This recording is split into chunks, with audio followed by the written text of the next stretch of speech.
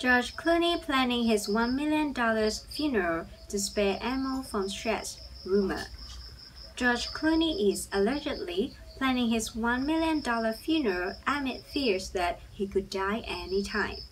According to Globe, there are concerns over Clooney's health and age. As such, George Clooney wants to make sure that his wife, Amal Clooney, and their twins wouldn't have to worry about anything when he passes away.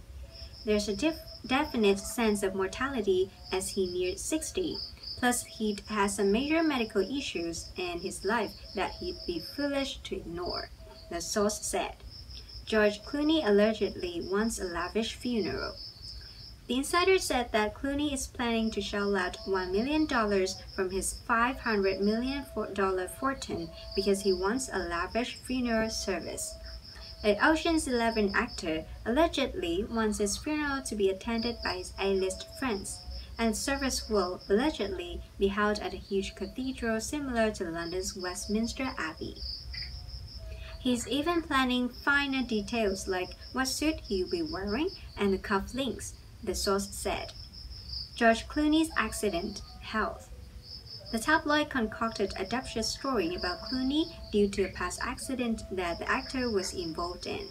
Years ago, the actor suffered from crippling back pain and headaches after cracked his spine while doing stunts.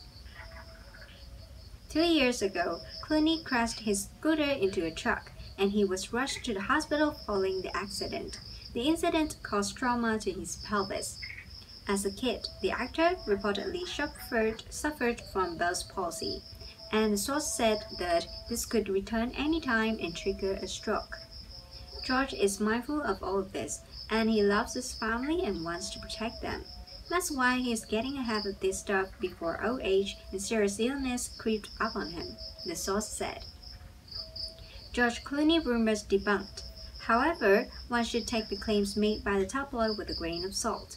Clooney isn't planning a $1 million funeral, and the actor doesn't also think that he could die anytime soon. While it is true that Clooney has been involved in two major accidents in the past, this doesn't mean that he's ready to go.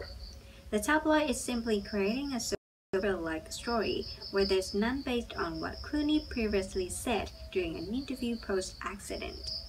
I was lying in a hospital bed with an IV in my arm, unable to move, having these headaches where it feels like you have a stroke. And for a short three week period, I started to think, I may have to do something drastic about this. You start to think in terms of, you don't want to leave a mess, so go in the garage, go in the car, start the engine. It seems like the nicest way to do it, George Clooney said.